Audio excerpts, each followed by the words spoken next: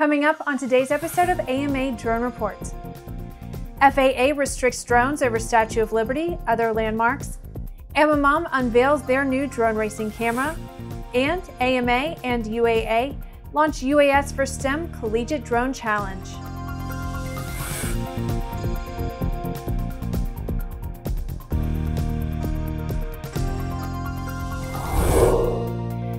I'm Bree Cross. Welcome to Airborne's AMA Drone Report on Aero TV, a weekly news program covering the recreational drone world in partnership with the Academy of Model Aeronautics, one of the oldest and most respected aviation organizations in the world, with more than 195,000 members and 2,400 clubs across the country.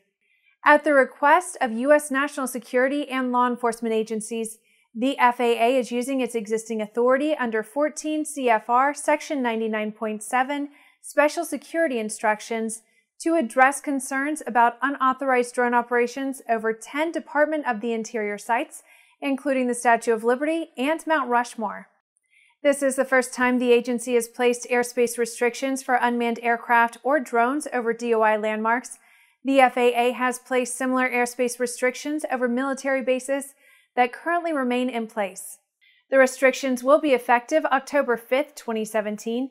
There are only a few exceptions that permit drone flights within these restrictions, and they must be coordinated with the individual facility and or the FAA. The FAA and DOI have agreed to restrict drone flights up to 400 feet within the lateral boundaries of these sites.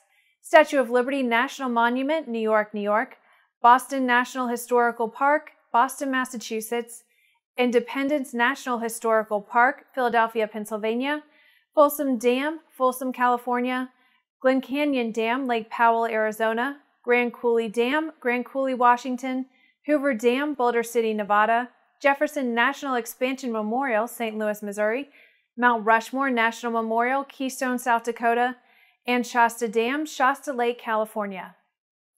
The FAA is considering additional requests from other federal agencies for restrictions using the FAA Section 99.7 authority as they are received. Amimon is launching its new HX camera. The new native 720p 60 frames per second camera will now include a 120 degree wide angle view with customizable picture balance settings, enabling a fully immersive drone racing experience. The XH camera is compatible with existing Connex ProSight systems with a simple software upgrade. Today, most drones come equipped with cameras allowing for FPV flight by having the pilot strap on goggles and fly the drones. However, many still use analog links between cameras and goggles with lower video quality, which hinder drone speed and accuracy.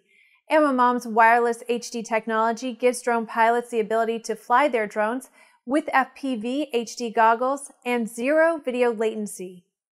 The Connex ProSight system combined with the HX camera enables advanced FPV visibility for drone racing pilots and is created to enhance video quality and significantly reduce transmission signal issues for the drone industry.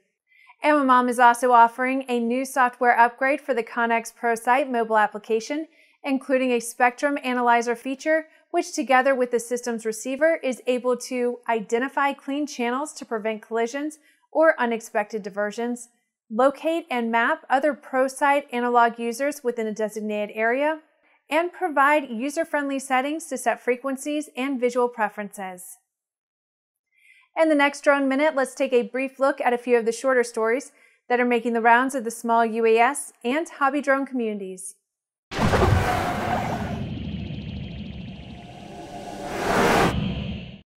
A startup drone racing club in Homosassa, Florida, has what the group says is the first designated drone racing space in the state, and they are now working towards making it a place where they can hold events in the growing sport. Citrus Drone Racing is affiliated with MultiGP. Their crowdfunding site on GoFundMe is an effort to raise $1,000 towards their effort. When Hurricane Irma passed over Daytona Beach, tearing off roofs, twisting signs, and knocking over a water park slide, professors from Embry-Riddle Aeronautical University were there to help assess the damage. Using UAS from the university's Daytona Beach campus, three professors worked with police officers not only to assess damage after the storm, but to photograph and document critical areas before Irma hit. Cleveland Indians pitcher Trevor Bauer has lost one of his drones, and the club is not being very helpful in helping him get it back. Bauer injured a finger with a drone rotor before he was to pitch last year in Game 3 of the ALCS and needed stitches. Now one of his drones has gone missing. Bauer said he was flying his drone in a park, and after a bad landing, it was nowhere to be found.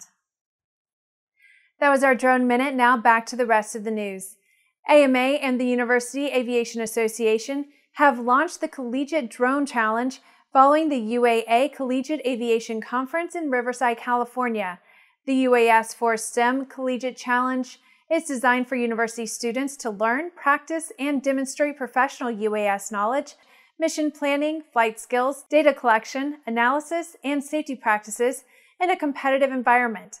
Teams will be required to utilize Pix4D mapping software and produce professional orthomosaic images. Upon completing the challenge, students will have gained critical knowledge needed to deploy drones within the high demand job industry. Quote, Following the success of UAS4STEM with high school students across the country, it only made sense to add a collegiate challenge, said Director of Education for the AMA, Bill Pritchett. All participating teams will be required to complete an online curriculum to ensure that all students have learned about multi-rotor safety and operation in the National Airspace System. The online ground school will also tutor students so they can pass the FAA Part 107 exam. A 10% educational discount on DJI products is also available. Competitions will be held in spring 2018 at regional flying locations and hosted by AMA's University Model Aviation Students Clubs Program registration fees include temporary Pix4D licenses for each student, the online curriculum, UMASC membership for teams, and competition entry fees. Team registration begins November 1st. GoPro has added a long expected feature to its Karma drone. The latest features to be unlocked in a software update include follow and watch modes, along with some others. In follow mode, the drone will follow its controller, which is not particularly helpful for activities like skiing or cycling. The feature would be more attractive if it were associated with a GPS wearable device, but so far that is not available. In watch mode, the Karma will hold a position and altitude and rotate to follow you as you move. The upgrade also allows a user to input up to 10 waypoints in cable cam mode, allowing planning for such things as swooping or crane shots and the Karma will now also look up, which those drones that carry the camera underneath can't do without getting rotors in the shot. The position of the camera in front of the Karma drone gives a clearer view. GoPro founder and CEO Nick Woodman has admitted that there is a second drone in development, but gave no timeline for when that new aircraft would be available. Well, that's our program for this week. In addition to this program, our daily Airborne Limited episodes covering the entire aviation and aerospace world are streamed Monday through Friday. Don't forget to subscribe, like, and tweet us. Get comprehensive real time 24 7 coverage of the latest aviation and aerospace stories anytime at aero news.net and more information on the exciting hobby drone world at modelaircraft.org. We'll see you next week.